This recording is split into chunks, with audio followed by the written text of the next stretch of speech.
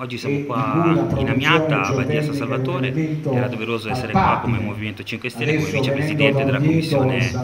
eh, Ambiente, Commissione regionale. Abbiamo portato a casa un piccolissimo risultato, cioè siamo, ottenuti, siamo riusciti a ottenere un impegno di tutta la Commissione nei confronti dell'assessore perché faccia l'allegato delle aree non idonee per l'installazione della geotermia. In questa risoluzione siamo riusciti a inserire anche un'attenzione per l'assetto idrologico del territorio, sappiamo la fragilità che tutti i giorni soffre quest'area e purtroppo il PD non ha accettato la proposta di inserire anche un comitato scientifico